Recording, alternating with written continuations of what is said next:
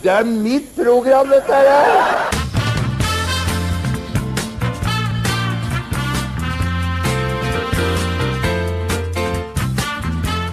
Dette er Fra svensktopp til rock'n'roll. Thomas Neråsen ønsker velkommen til ukens sending.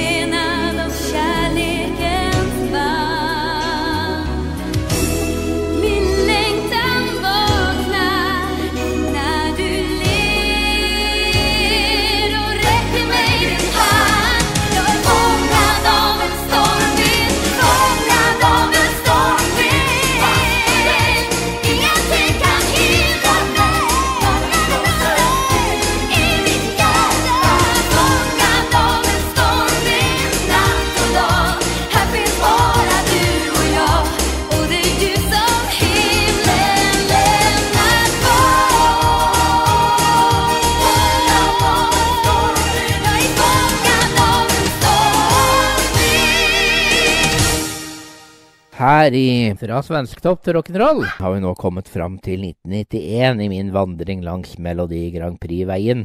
Fra 1980 til 2000 for min del, da.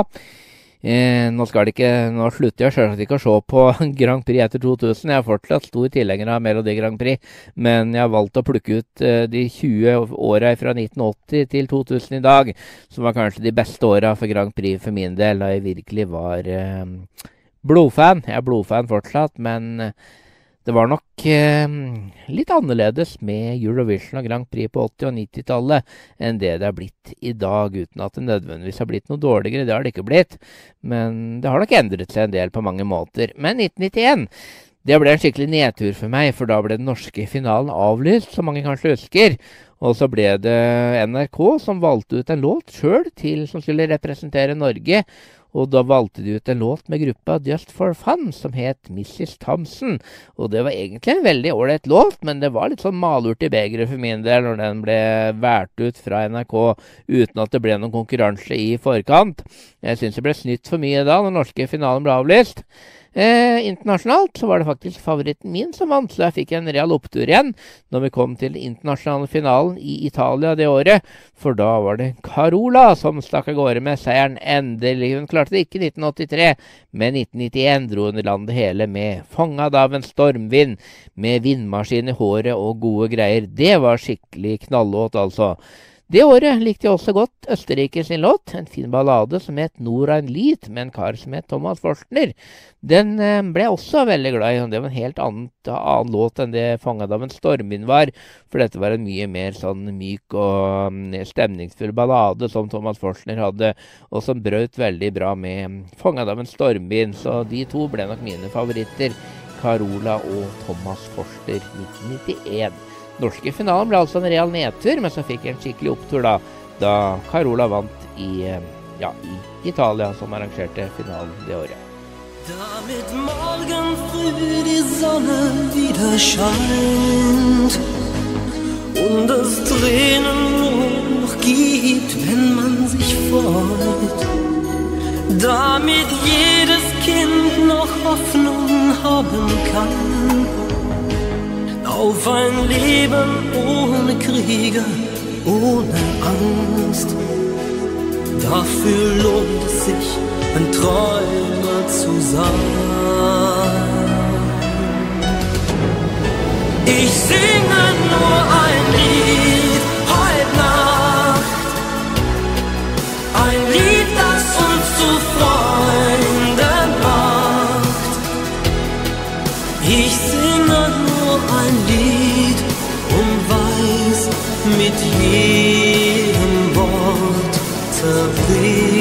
das Eis.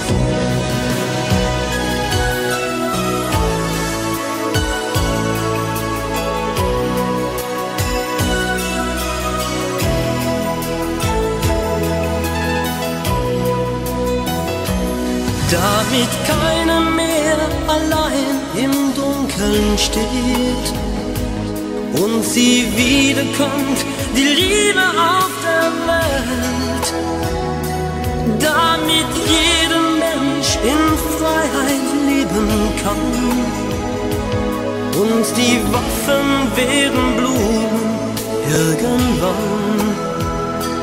Dafür lohnt es sich, ein Träumer zu sein.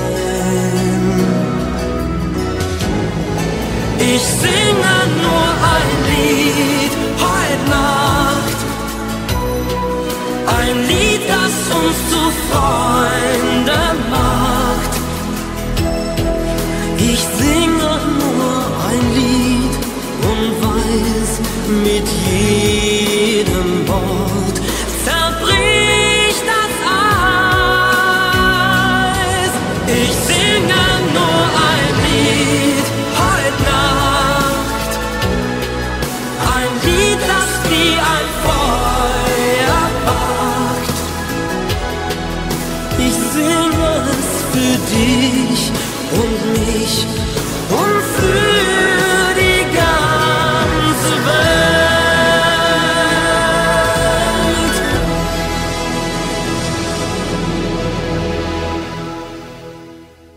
I 1992, da Det var et veldig spesielt år for min del. Kunne kan- får kanskje si at det var det beste året når det gjelder norskefinalen. For i 1992 så deltok jeg på en lyttekonkurranse i programmet Norsk på norsk på NRK radio. Og da vant jeg faktisk to billetter til norske finalen i Oslo Spektrum. Så da tok jeg med meg eksen min, som jeg var sammen med på den tida. Vi dro inn til Oslo. Overnatta søskenbarnet mitt oppe på Sandaker. Og på lørdagskvelden dro vi ned til Oslo Spektrum og var publikum i salen, og det var en veldig stor opplevelse. Det er største, en av de største opplevelsene jeg har hatt noen gang, tror jeg. Sitte i salen på Spektrum og se på Melodi Grand Prix. Her var det da Merete Trøan som vant, trønderjente, som vant med sangen 'Visjoner'. Den eh, var veldig bra. Det var ikke min favoritt, men jeg likte den veldig godt. Mine favoritter i 1992 det var Steven Ackle, som sang 'Det er lørdag rock'n'roll'. Det var Tor Endresen som sang om Radio Luxembourg, og det var Skandinavia som sang om ett sted i Skandinavia. Dette var mine tre største favoritter det året, kanskje, men jeg var også veldig glad i Merete Truan og Visjoner. Eh, Spektrum i 1992, der ble, ble showet kalt for Sirkus Grand Prix. Og der var det litt sånn sirkustema rundt hele showet. Det var Elisabeth Andreassen og Jahn Teigen som var programledere. Husker du da de kom på scenen, så ble de heist ned på sånn voldsom diger huske fra taket. Sånn vanlig sånn huske, altså. Sånn treplanke du sitter på. Der ble de heist ned. Og så kom de ned på gulvet til slutt. Det var veldig sånn stilig eh, entré for programledere, syns jeg. Og hvis vi blikker til den internasjonale finalen, da, i 19... Eh, i 1992 så ser vi at uh, det var Irland som nok en gang vant. De var jo storvinnere. De vant faktisk tre år på rad om på 90-tallet. Og ja, Irland de hadde med en låt som het Why Me, fra ei jente eller dame som het Linda Martin. Og den var ikke jeg så veldig glad i, men husker at kameraten min, barndomskameraten min på den tida, han likte denne låten med Linda Martin veldig godt. Sjøl husker jeg lite fra den internasjonale finalen i 1992, sjøl om jeg alltid husker alltid fra den norske. Det eneste jeg husker fra den svenske, det er Christer Bjørkman, som er jo lederen for Melodifestivalen i Sverige i dag. Han sang en fin sang som het uh, som het var het den sangen 'I morgen er en annen dag', heter den. 'I morgen er en annen dag' fra Christer Bjørkman. Kom så lenge hjertet slår, kom så lenge spenningen fins kvar. I morgen er en annen dag. Det var en veldig vakker ballade som eh, Sverige hadde med i Eurovision i 1992.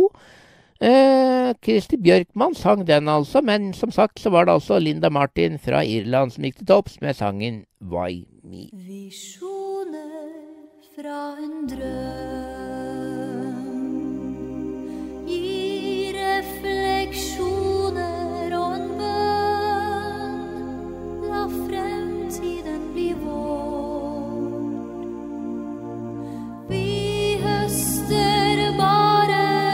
det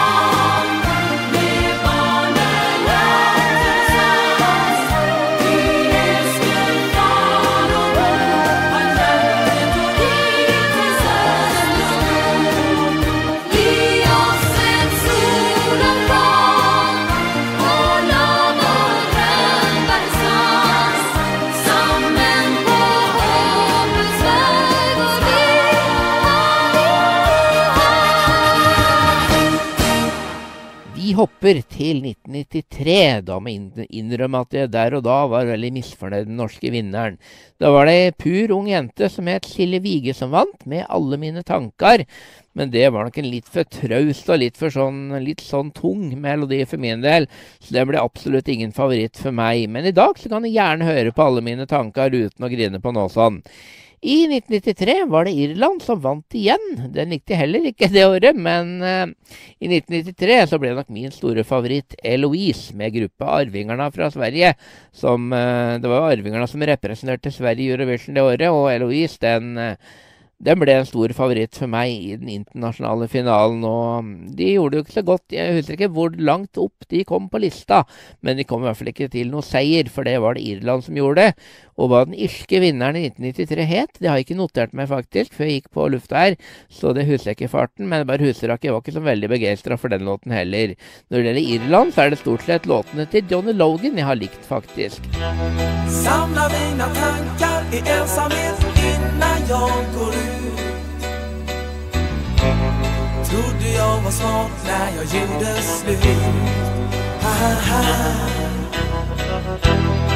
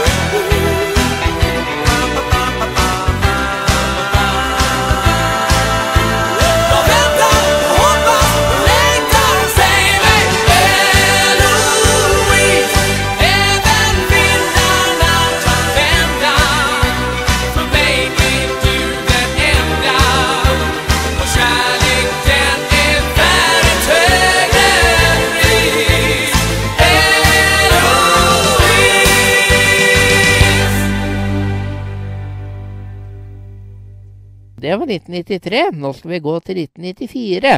Og da var det Bettan, eller Elisabeth Andreassen, da, sammen med nå avdøde Jan Werner Danielsen, som hadde med en fin duett, som faktisk het duett også.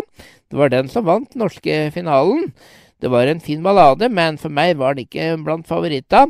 Tor Endresen han hadde kanskje den fineste låten for min del det året i den norske finalen. Den het Aladdin. Av de andre så husker jeg lite, og hvis vi da går til den internasjonale finalen, da var det jo Irland da, som vant for tredje gang på rad med en sang som het Rock'n'Roll Kids. Og den finalen den mener jeg satt oppe i Valdres og hørte på i campingvogna vår på en campingplass oppe i Valdres. Da mener jeg å huske at jeg og eksen min satt oppi der og så på den norske finalen på reise-TV-en. Og da var det altså Rock'n'Roll Kids som vant, og den likte jeg ganske så godt. Eh, men det er nok en låt jeg begynte å like atskillig bedre litt senere, men litt mer og mer med åra, faktisk. Men der og da så Det er nok en låt jeg måtte høre noen ganger før den begynte å feste seg skikkelig. I remember 62. I was 16 and so were you. And we lived next door on the avenue. Jerry Lee was big and Elvis too. Blue jeans and blue suede shoes, and we never knew what life held in store. We just wanted to rock and roll forevermore. We were the rock and roll kids. Rock and roll was all we did. And listening to those songs on the radio. I was yours That was once upon a time. Now we never seem to rock and roll anymore.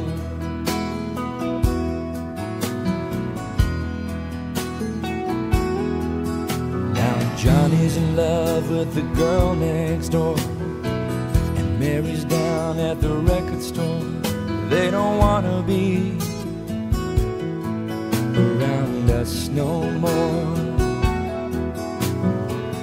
Golden oldies, but we hardly speak. Too busy running to a different beat, hard to understand. We were once like that. How I wish we could find those rock and roll days again. We were the rock and roll kids. Rock and roll was all we did. Listening to those songs on the radio. I was yours and you were mine. That was once upon a time. Now we never seem to rock and roll anymore. I was yours and you were mine. But that was once upon a time. Now we never seem to rock and roll.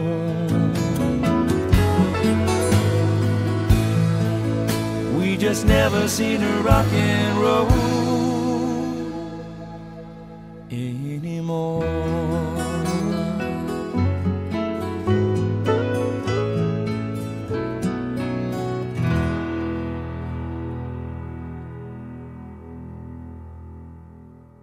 Det var 1994. Så skjedde det store ting året etter, for nå går vi til 1995.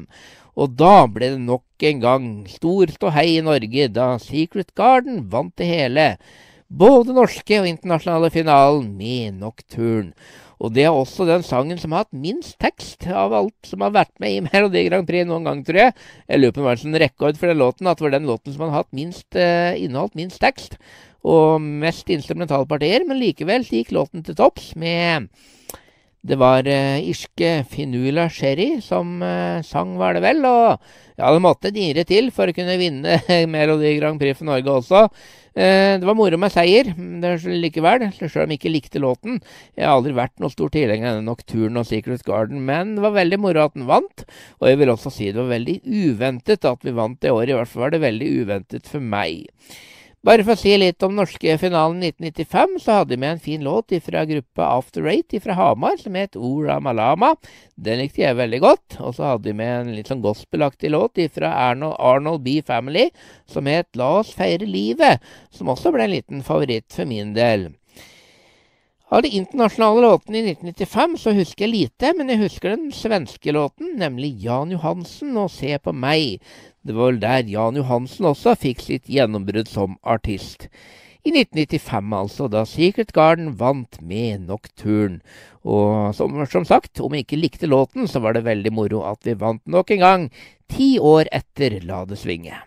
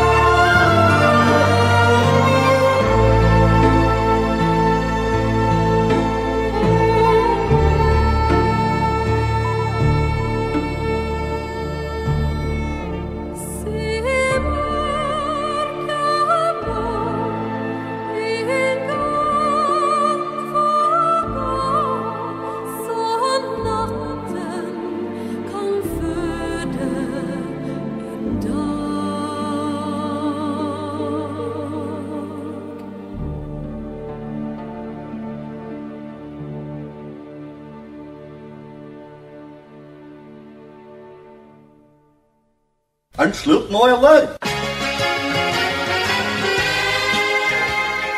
Fra svensktopp til rock'n'roll. Er du glad i quiz? Da bør du bli med på undertegnedes ukentlige fredagsquiz på Facebook hver fredagskveld fra klokka 22. Søk opp Thomas Leråsen på Facebook. Du trenger ikke være venn med meg for å delta. Gå inn på min private profil. Der publiseres en direktesendt video på fredagskvelder fra klokka 21.55. Og fra klokka 22 så starter quizen. Quizen består av 15 spørsmål. Den varer i ca. en halvtime, og du svarer ved å skrive i kommentarfeltet. Den som vinner quizen, er med i en månedstrekning i begynnelsen av neste måned, der jeg trekker ut to skrapelodd i premie. Altså direktesendt videoquiz på Facebook via Thomas Neråsen sin private Facebook-profil hver fredag klokka 22. Kast deg med du også, dette er skikkelig moro. Fra svensktopp til rock'n'roll. Hvis du ønsker deg musikk til programmene her fra svensktopp til rock'n'roll, da kan du enten bruke e-post eller SMS. Jeg har nå fått ny e-postadresse, og den er som følger. Post krøllalfa svenskrock.nett. Altså post krøllalfa svenskrock.nett, og da skriver du nett med én T. Du kan også bruke SMS-tjenesten min. Den koster fem kroner. Da skriver du kodeord 'Thomas' med TH først i meldinga di. Skriv hva du vil høre, hvem du er og hvem du eventuelt vil hilse til. Og så sender du meldinga til telefonnummer 2030. Prisen er altså fem kroner, men bruker du e-post, så er det helt gratis. Altså enten e-post til post krøllalfa svenskrock.nett eller SMS Thomas til 2030. Her ifra Svensktopp til rock'n'roll har jeg også en egen hjemmeside som nå har fått en ny og enklere adresse. Adresse du skal bruke heretter, det er rett og slett svenskrock.nett. Skriv nett med én T svenskrock.nett. Da kommer du rett inn på hjemmesida mi, der du kan lese både spillelister for alle programmene som har gått på lufta. Du kan lytte til tidligere programmer via YouTube-linker som ligger ute. Du kan finne nettradioer til radioene samarbeider med. Du finner oversikt over radioene sine nettsider, og alt du trenger å vite om fra svensktopp rock'n'roll, det finner du på svenskrock.nett. Det er mitt program, dette her. Listening to the best radio station in town. Ja, da er det tid for Eurovision i Norge igjen, for nå har vi kommet til 1996, og da ble det jo norsk finale, eller da ble det jo internasjonal finale i Norge nok en gang. Og ikke Grieghallen denne gangen, men denne gang i Oslo Spektrum, for nå hadde jo Oslo Spektrum blitt bygd, og da var det et atskillig mer aktuelt lokale enn det enn det Grieghallen var. Og Oslo Spektrum, det vil bare si det at Oslo Spektrum var jo en stor uh, arena i 1996, men uh, da vi skulle arrangere Eurovision i 2009 igjen, da var Oslo Spektrum plutselig for lite. For da måtte vi bevege oss ut på Fornebu på Telenor Arena for å få stor nok arena til Eurovision. Og det sier jo litt om hvor dette, hvordan den konkurransen har vokst i løpet av åra, da. For Oslo Spektrum ble som en liten sånn håndballsal, håndballhall å regne i forhold til Telenor Arena da vi kom til 2009. Men i 1996 var det altså internasjonal finale i Spektrum. Der i den norske finalen da, så var det Bettan som vant med sangen I evighet. Favoritten min det året, det var nok dansebandet Skandinavia, som hadde med en låt som het Når hjertet står i brann. De andre norske låtene husker jeg lite av, men når det gjelder internasjonalfinalen, da, så var det faktisk nok en gang Irland som vant. De hadde hatt et års pause. For Norge vant jo i 95, men Irland vant jo i 92, 93 og 94. Og så vant Norge i 95, og så var det nok en gang Irland sin tur i 1996. Ehm, jeg var nok litt lei Irland sine seire på den tida, og så var litt rødt hver gang jeg så at Irland fikk mye poeng i Eurovision. Min favoritt i 1996 var nok muligens Gina, Gina G fra Storbritannia, som sang den herre U-A-O-A Just a Little Bit, husker han kanskje? U-A Just a Little Bit, U-A A Little Bit More. Veldig fengende, sånn typisk 90-talls pop-dance, nesten litt sånn teknolåt. Den syntes jeg var veldig fengende og fin i 1996, altså med Gina G. Men som sagt, det var Irland som vant nok en gang i 1996, da Eurovision gikk av stabelen i Oslo Spektrum.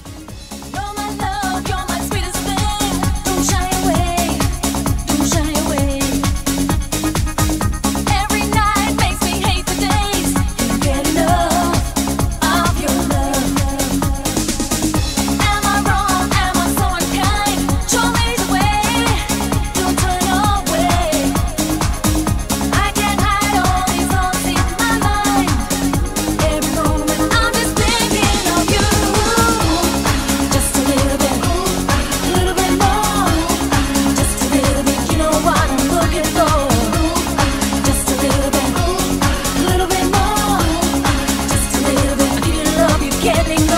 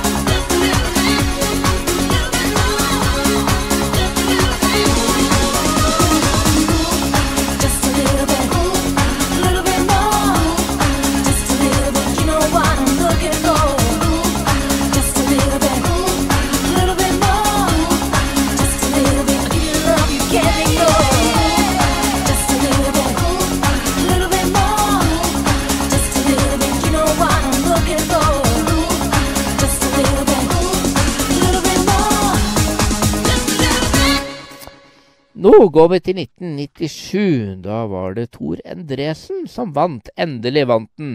Han hadde jo med gode låter både i 90 og 92. Han hadde jo Kaffe eller Swing i 1990. Han hadde Brady Luxembourg i 1992. Han hadde Aladdin eh, et eller annet år på 90-tallet også. Men så hadde han en låt i 1997 som het San Francisco, og den stakk av med seieren i Norge det året. Kjærlighetsnatt i San Francisco Omtrent sånn går den. Den låten likte jeg kjempegodt, men jeg likte også en annen godt låt som var med det året. Det var Marianne Elstad, som vi ble kjent med i Farmen noen år senere, og som deretter ble kjent som countrysangerinne Ann Taylor. Hun heter egentlig Marianne Elstad, og i 1997 så var hun med med en sang som het Min egen superstar, som jeg syns var veldig ålreit, selv om jeg ikke husker låten akkurat nå. Så når jeg ser tittelen, så vet jeg at jeg likte den låten ganske så godt. Men Tor Andresen med San Francisco, det var en veldig bra låt. Så jeg syns vi hadde en verdig vinner det året, selv om det ikke gikk så veldig bra i den internasjonale finalen. Internasjonale finalen 97, der var det Storbritannia som vant, med gruppa Katrina and the Waves. Og denne Low Shine a Light, den husker du garantert. Low Shine a Light. Low Shine a Light, every corner of my life. Et eller annet sånt. Et eller annet sånt. Men likte den godt, ja. På den tida likte jeg den godt. Nå er jeg nok litt lei den, tror jeg. Jeg har gått litt mer lei den låten i senere åra, men i begynnelsen så syns jeg det var en veldig fin låt som vant i 1997, altså.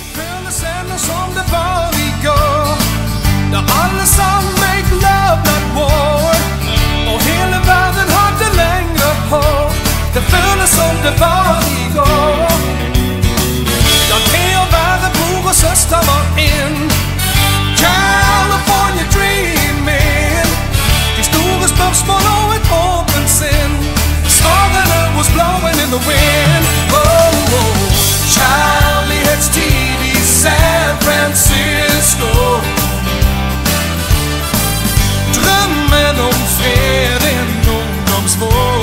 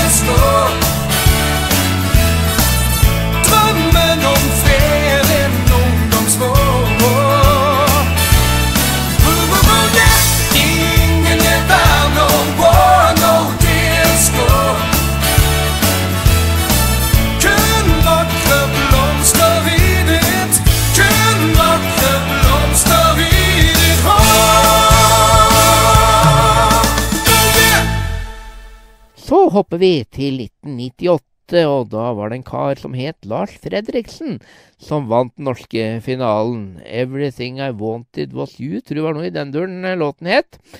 Eh, Lars Fredriksen han ble altså vinneren, og jeg likte nok låten forholdsvis godt. Men den som jeg husker best fra 98 sjøl, det er nok den morsomme låten som Bjelleklang hadde. Bjelleklang de hadde en sang som het På do. Og På do det var en litt sånn morsom sak som jeg syntes var fengende og fin, og som jeg lo godt av da den kom på TV. Eh, om det akkurat var favoritten min, det skal jeg ikke si, men iallfall den låten som jeg husker best nå i ettertid, da. Men de andre låtene fra norske finalen 98 husker jeg veldig lite av. Internasjonalt så var det faktisk Israel som vant med Dana International. Og sjøl om ikke det var noen favoritt for meg, så var det jo litt morsomt at Israel vant, da. For de hadde vel ikke vunnet siden sist på 70-tallet, da de vant med Halleluja. Så det var kanskje på tide at Israel vant igjen også. Dan International hun var ikke min favoritt i den, eh, det året, men Eh, det var i hvert fall hun som vant det hele, og hun eh, skapte nok litt oppsikt det året. Jeg husker ikke helt hvorfor. Men det var et eller annet med Dan International. Var han litt sånn transe, tror jeg? Eller var det noe sånn drag-greier eller et eller annet som var rundt den dama, som gjorde at det ble en del, en del um, Skal ikke si debatt, men en del sånn prat og litt sånn oppstyr da, rundt, rundt finalen i 1998.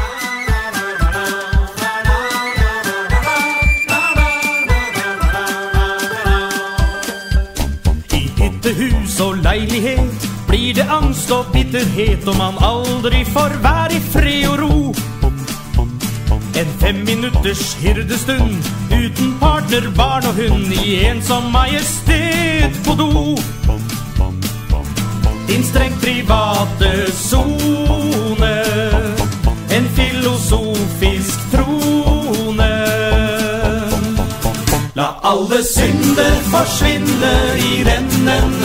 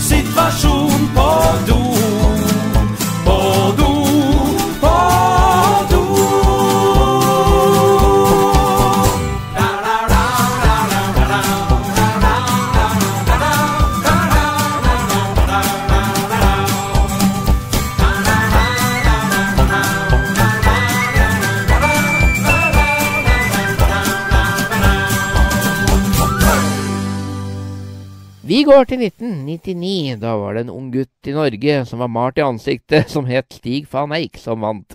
Og Stig van Eijk han ble, var ikke min favoritt i året, det var ikke min type musikk, så jeg var ikke noen sånn stor fan av den. De andre norske låtene husker jeg lite av i 1999, men internasjonalt så ble det en stor kveld for meg. For da var det min store favoritt, Charlotte Nilsson, som vant for Sverige med 'Take Me To Your Heaven'. Så da var det nok en gang Sverige som dro det lengste strået, og 'Take Me To Your Heaven' den øh, het jo egentlig 'Tusen og en natt'. og på svensk, da, og jeg husker at den vant i eh, 1999, så dansa eksen min rundt på stuegulvet oppe i leiligheta mi i Hunndalen, for da var det stor jubel, for den låten likte vi veldig godt eh, begge to. Så 'Take Me To Your Heaven' den um, fortjente absolutt seieren 1999, spør du meg. Shadows dancing slowly on my wall. Moonlight painting silver to the sound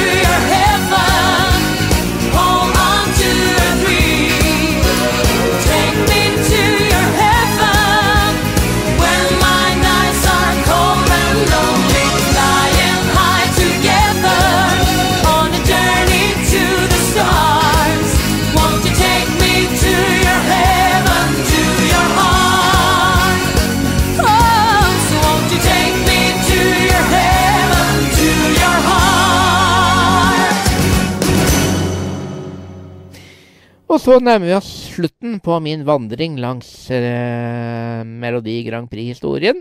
For min del i hvert fall, som starta i 1980. Jeg har valgt å sette 2000 som sluttår for denne lille vandringa mi. Helst kunne drive på evigheter. Jeg kan fortelle at i 2000 så var det min norske favoritt, Charmed, jentegruppa Charmed, som vant med sangen My Heart Goes Boom. Den likte jeg veldig godt. My heart goes boom da, da, da, da, da. Jeg husker ikke akkurat melodilinja her, men det var med Heart Goes Boom. Og Charm de likte jeg såpass godt at jeg kjøpte hele CD med den gruppa etter finalen. Der kom det med en hel CD, den måtte jeg bare ha. I den internasjonale finalen 1980, nei, 1980 gjør det, i 2000, så var det Olsen Brothers som vant. Eh, den låten plasserte den litt sånn midt på treet for min egen del, men det var en ålreit låt, da, litt annerledes også. De vant jo med Fly on the Wings of Love. Fly on the wings of love, fly baby fly. De hadde jo veldig fin stemme, disse gutta her. Og de var godt voksne, da, som skilte seg litt ut på den måten òg. De var vel skikkelig som veteraner å regne i forhold til de andre artistene som var med. Og siden Danmark vant i 92.000, så betyr jo det at det ble to nordiske seire på rad i 1999 og i 2000. Så det var et år som Det var moro at Danmark vant, syns jeg. Skulle gjerne ønske at de vant med en annen låt, men for min del så var 2000 et veldig bra Veldig bra Grand Prix-år, siden det var min favoritt da, som vant i Norge, i hvert fall.